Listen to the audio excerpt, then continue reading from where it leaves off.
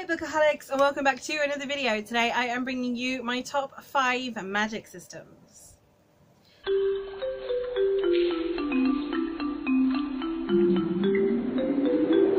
Now, these are magic systems that I have read and really enjoyed. They are not necessarily in like favorite books, they're just magic systems that I think are really, really innovative.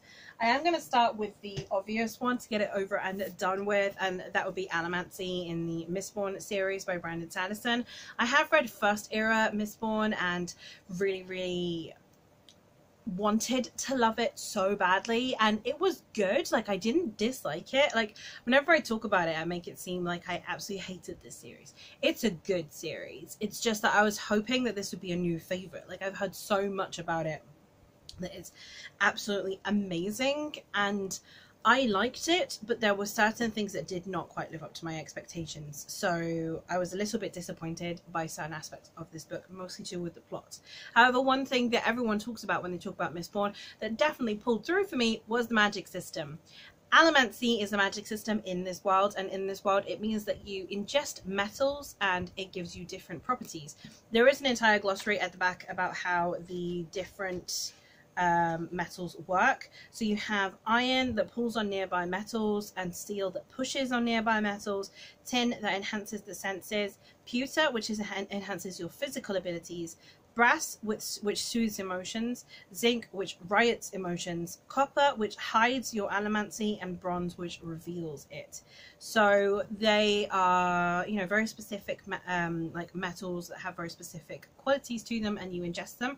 And basically you can be an allomancer, which means that you can your magic works with one specific metal, or you can be a mistborn, which basically means that you can ingest any of the metals because you have all of the powers, and those are very rare. But of course, the protagonist has these powers because otherwise they wouldn't be the protagonist, and um, it goes from there. I again, I really did like the magic system, so that is definitely something that I would say is really well done in here. So, also, I'm in the minority, so don't take my word for it when it comes to this series, most people adore it. Um, I just, uh, I think the hype got to me a little bit with this one, but the magic system, I will concede, is impeccable. The next one I'm going to talk about is in the Galactic Milieu universe by uh, Julian May. I have here Intervention, which I haven't read yet. I've read the Saga of the Pliocene Exiles, but my copies are AWOL at the minute, um, so I'm holding up this one. But basically, this entire universe by Julian May, this is an extended universe. It comprises of two series and a standalone, the standalone being this one. Um, and this is a world in which we are now living in space. Um, we can we, we are part of the galactic milieu of other alien species and we interact with them, etc. Um, and there is essentially kind of this sort of glitch in uh, the time-space continuum, which basically means that we can send humans back to Pliocene Earth. But people, you know, if they go through this hole, they cannot come back because then they will age thousands upon thousands of years and they will die and like disintegrate into ash. Um, and we are following a group in, in the saga of the exiles we're following a group of people who are either being sent to pliocene earth because of crimes they have committed so it's either being put to death or being sent back to pliocene earth. And then we are also following groups of people who are wanting to go back to pliocene earth be it because they want a more um like basic like almost like amish lifestyle like they just want to go back to a kind of what they deem to be more peaceful time um, and we're also following people who are going back for other reasons. And it's a very very interesting series. I do have a dedicated review for it. The review is not great. It's the second review i ever did on the channel. And at that point when i first started the channel i was just trying to kind of make videos to get used to making videos. And i was hoping to get like feedback from people and stuff. Um, so it's not a great review. I do have it. I will link it. Um, a lot of Saga of the Exiles fans are really appreciative that I put it out there because not a lot of people have read the series. Um, but there are definitely some decided mistakes because I didn't make notes to make the review with. Um, I just kind of babbled and you can tell. You can completely tell because I have so many mistakes in, in the review. So bear that in mind if you do go check it out. But it is there and, you know, if you are interested, then there's a sort of discussion on the series. However, we're talking magic systems, and the magic system in this is described more as like a science because this is a sci-fi series, and the magic system is called um, meta psychic powers and in it you have different like psychic abilities. So basically it's like we've gotten to the point where we can like unlock that part of our brain essentially. You see this a lot in sci-fi um, and we have different abilities. They have different names. So you have things like creativity which is to create illusions or kind of shape um, people's energies and perceptions etc uh, there's coercion which is essentially mind control. You have um, psychokinesis which is essentially telekinesis. Um, far seeing which is you can like communicate with or connect with another person no matter how far away you are. Um, you can kind of like you know talk with their minds. It's like telepathy essentially essentially. Um, then there's redaction which is like healing and you can heal someone's body or someone's brain although the latter is a little bit more skewed. Um, you have uh, there's so there's one that is kind of like seeing the future, but I'm not sure exactly. I've, I've, I've not read any of the other books. I'm hoping it'll get explained in the other books a bit more. There's one where it's kind of like hinted at at seeing the future, but again, I'm not sure. Hopefully it'll come up in the newer series. Um, and then the last one is dimension jumping, which is essentially telepathy. And there are only two characters in the original trilogy that in the original series, sorry, that can do so. Um, I don't know if in the rest of the series there are more, but it's very rare. And yeah, again, it's kind of just, it's a hard magic system. It's described more as a science than as a magic, which I really, really like. And that's definitely something that I enjoy seeing is when it's kind of described in that way. Um, and I think Julian May did a really good job of setting it up and giving different people different abilities, etc. Um, there is also kind of a consequence on it where uh, you have two characters who are like incredibly powerful who basically begin to go a bit insane. Um, and I think that was really well done, and I enjoyed it, and I would recommend this series if you've not checked it out already. The next one I have is Orogeny, which is in the fifth season and the Broken Earth series by N.K. Jemisin. And this one is essentially the control of natural disasters. So we are in a world where you have every now and then a fifth season. And this is basically just an influx of natural disasters, especially earthquakes. And then you have these uh, magic wielders who can control these earthquakes. And they are frequently used against their will. They do not have um, legal rights, etc and um, they are frequently imprisoned, etc. And yeah, I I really love the way that the magic system is done in here um, because it, each book develops it a little bit more. However, this is a series that's very difficult to talk about, so I'm not going to go too much in depth. I do have a review for the series in case you want to check it out. I'm not going to go too in depth with how the magic works because I do think that it's one of those that you do need to learn on the, on the go. Uh, you are thrown into this series knowing very, very little about anything. She does not hold your hand. You just need to be along for the ride and figure stuff out as you go. Um, but I do really like how the magic is so intrinsically tied into the social dynamics within this story, and I think that it is done really well.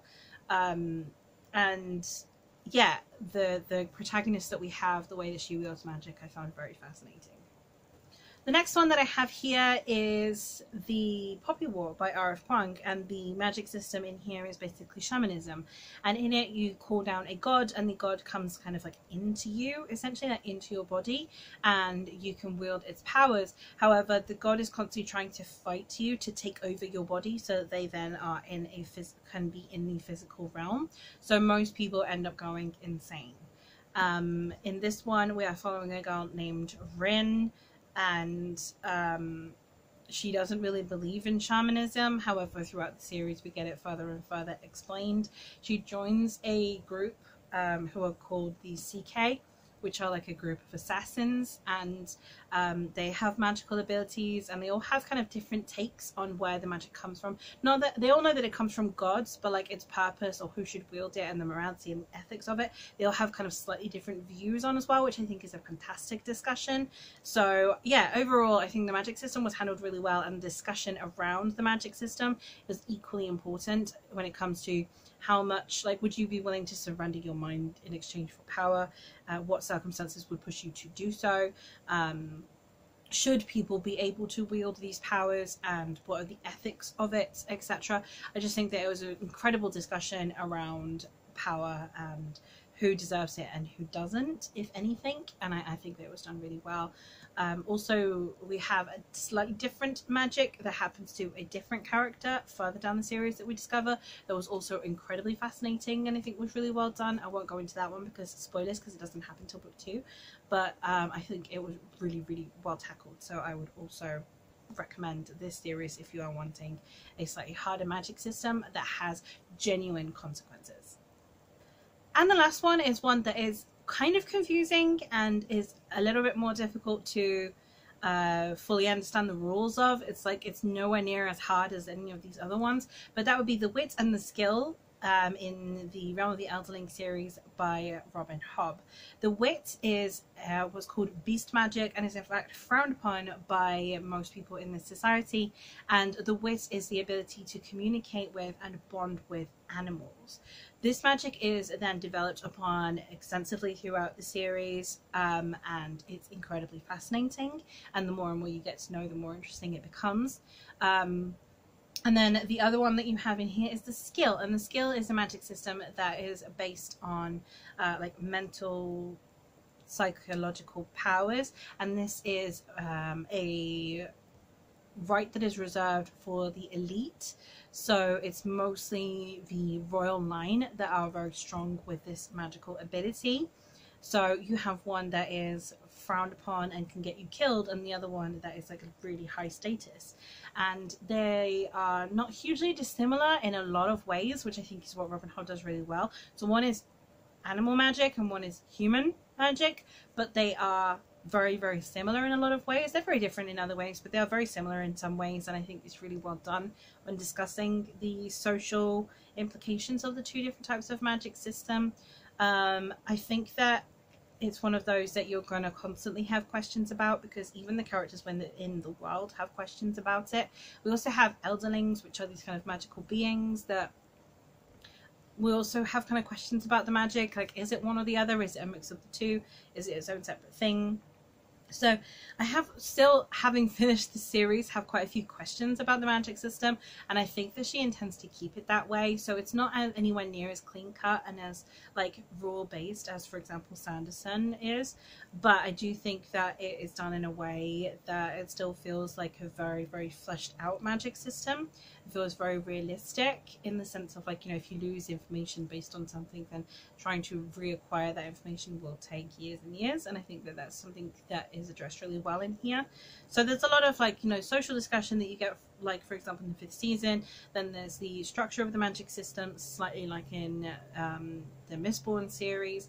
You have this kind of like whimsical, otherworldly element to it that the Poppy War has. So if you like um, innovative magic systems, I definitely would give it a go. It's also kind of similar in a way to the magic systems that you see in uh, um, A Song of Ice and Fire. The wit very much resembles warging in certain ways. Um, so there is that. Um, but yeah, overall, definitely um, my favourite series of all time. So I'm going to hype this one up a lot anyway. But yeah, those are some magic systems that I have found really interesting and that I think have been really, really well utilised within the story. Um, in the sense of Sanderson, I think that is its key selling point, but with the others as well, I think that they have become intrinsical to the story, not just because, wow, magic, and that's what makes it fantasy, but because of the discussions it brings and because of the, um, the, the morality, the ethics, and, and the thematic um, addition that it brings to the story that I think is incredibly well rounded and well fleshed out. But that is it for me for today with this video. So let me know some of your favourite magic systems down below. I know that there are quite a few that are very popular that I've not mentioned. There would be the Lightbringer series by Brent Weeks that I've not read. And then there's the Stormlight Archive, of course, that I've not read. So I know there are plenty that I haven't mentioned. But still, um, let me know some of your favourite magic systems in the in the comments down below. In the description box you'll find links to my Twitter, Instagram and Goodreads as well as my blog and my playlist of just top five um, videos so you can go check those out as well. And um, yeah give this video a thumbs up if you liked it subscribe if you've not already and hit the bell icon if you want to get notified every time I post a new video. But that's all from me for today guys. Bye! Bye.